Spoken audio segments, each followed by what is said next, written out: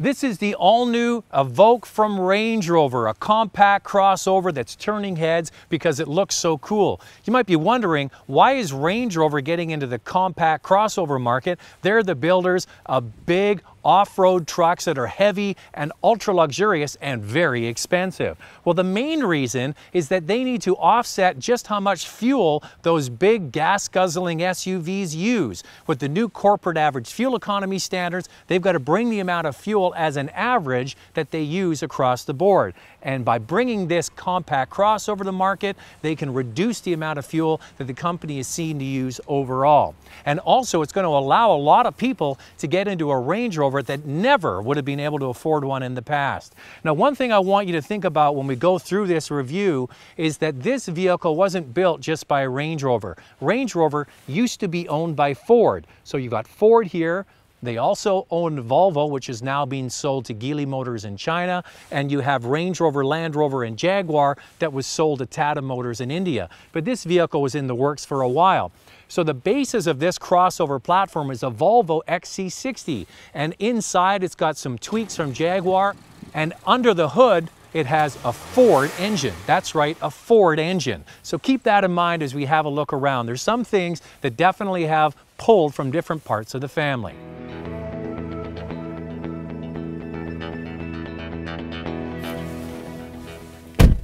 The Range Rover Evoque is an interesting vehicle on the inside. I mentioned off the top, you had that Ford umbrella in the past, you had Jag and Range Rover on this side, and you had Volvo on the other side. They've since been sold off, but this vehicle was planned well before they divorced, and you can see some of the influences inside the Evoque.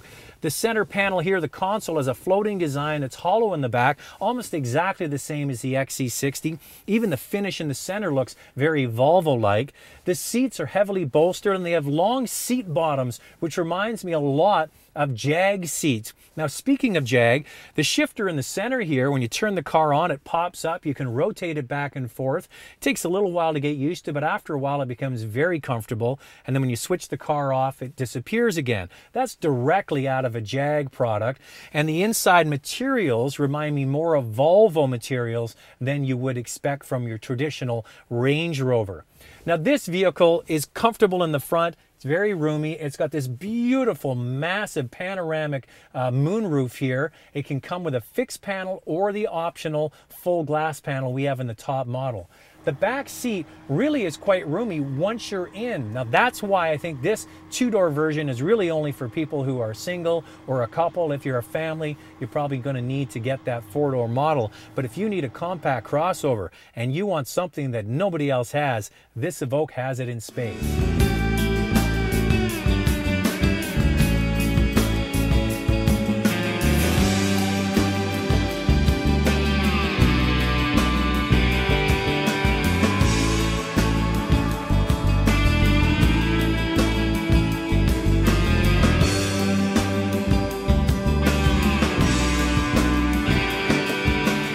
Well, first of all, Range Rover did not make their own engine. They didn't use a Jag engine. They're using a Ford engine. Remember off the beginning, I mentioned that Ford used to own Range Rover? Well, this vehicle has the EcoBoost four cylinder. That's right, a four cylinder engine in this vehicle with 240 horsepower from a 2 liter direct injection turbocharged engine. Now, this is going to be very exciting for anybody that's interested in a Ford in the next little while. And in this Evoque, it does a fantastic job.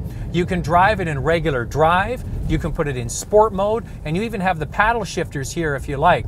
Now, I've picked a particularly twisty and somewhat bumpy road along the mountains here, and this little vehicle just dances in the corners because it's built on a crossover platform.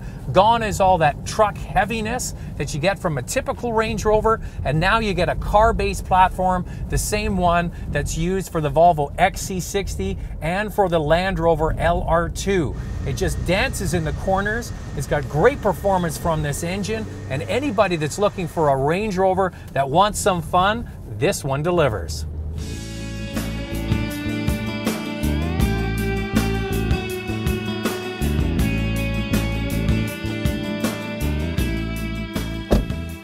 At the end of any review, you have to ask yourself, did Range Rover hit the target that they were going for? Well, I would say absolutely.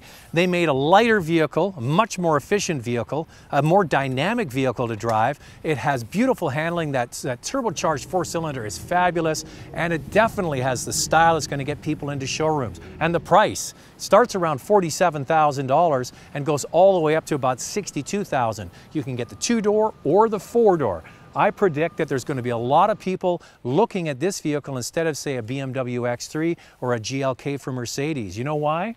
It just looks so cool.